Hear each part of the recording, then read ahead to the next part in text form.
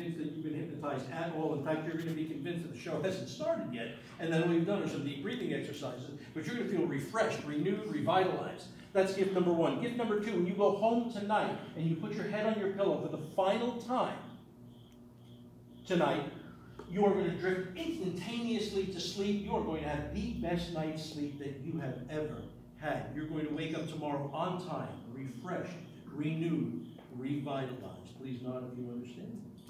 Excellent. But again, you're going to have no recollection of this show until I say the word. It says great. Uh, great. Until you hear me say the words "great escape." When you hear me say the words "great escape," and only when you hear me say the words "great escape," all of a sudden every memory of this show is going to come rushing back to you. The tongue out of mouth disease, the inability to stand up out of the chair, the inability to remember your name or to be able to count to six. All of these, the, the, the instant heat wave that you felt, instant bitter cold, all of these memories are going to come back to you. But until you hear me and me alone say the words great escape, you are going to be convinced that you have not been hypnotized. In fact, when I try to dismiss you off the seats, you're going to make sure that I know how disappointed. In fact, the more I try to dismiss you, the angrier and angrier you'll get. And while you will never act out, it's important to remind them of that. While you will never act out, you will not be afraid to let me and the audience know how you feel chipped and that you simply came up here for just a few deep breathing exercises. What's that all about? You will have no recollection of my giving you this suggestion until you hear me and me alone say the words great escape. Please nod if you understand. Every other suggestion that I have given you is wiped out, okay? You will remember your name. You're not suffering from tongue out of mouth disease. You will not be stuck to the chair. You'll be convinced the show hasn't started. Let's bring you up on the count of five. One, I want you to sit back in your seat.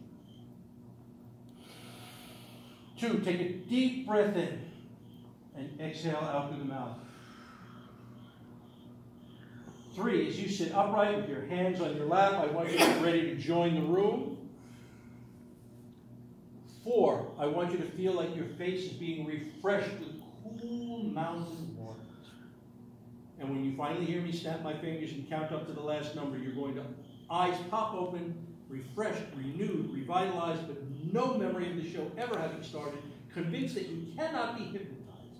And when you hear me say the words great escape, you will remember everything about the show, fist pumping the air. And I'll tell you what, let's do one more.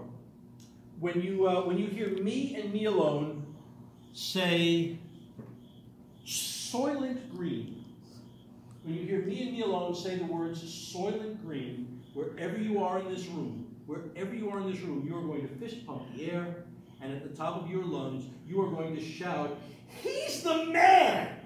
When you hear me and alone say the words and Green, wherever you are in this room, you are going to fist pump the air, and you, at the top of your lungs, you are going to say, He's the man, and you're going to mean it. Please nod if you understand. No recollection of my giving you this suggestion. One, two, three, four, five. Eyes open, deep breath in, find your spot. Exhale all the way out.